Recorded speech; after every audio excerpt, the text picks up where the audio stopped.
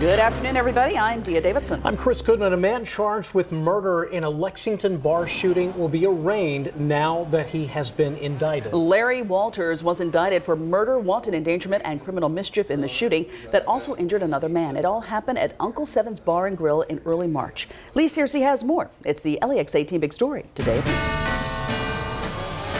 Larry Walters heads to court here in just over an hour. He is accused of killing 68 year old James Terry back in March. Police say Walters opened fire inside of Uncle Seven's Bar and Grill in South Lexington on March 11th. The coroner said Terry died early the next morning from a gunshot wound. Another bar regular known as Stevie was also shot and spent time in the hospital recovering from his injuries. We spoke with him last month about the scary ordeal. Stevie Roop was there and says he saw Walters pull out a gun and start shooting.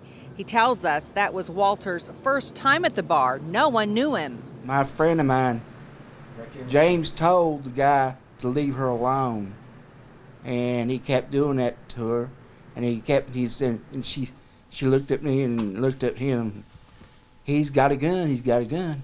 He's going right for him. Hit him right in the head, and when he James went right to the bathroom and started doing it, and you back shot him.